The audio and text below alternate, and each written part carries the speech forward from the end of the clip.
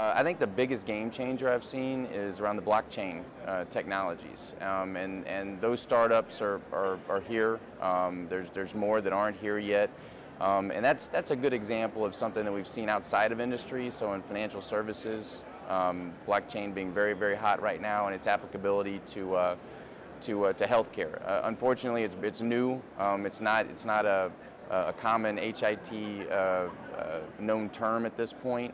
Uh, but I think uh, by this time next year, we'll, we'll definitely see that as a potential game changer.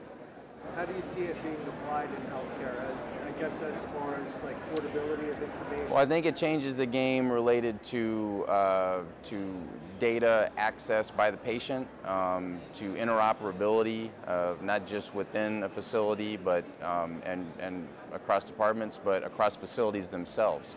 So uh, blockchain has, has a real potential to, and frankly, a real uh, potential to impact the exchange markets. So, um, so I, I, I, think blockchain is going to be a hot topic here for the next couple years.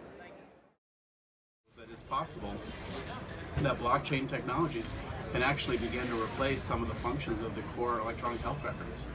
And uh, so I think you're going to start to see, you know, the movement of these technologies. Mm -hmm. And, the, and the question came up is, you know, is the U.S. going to be a leader or a laggard in these technologies? Because we've already kind of advanced ourselves with some of the core capabilities.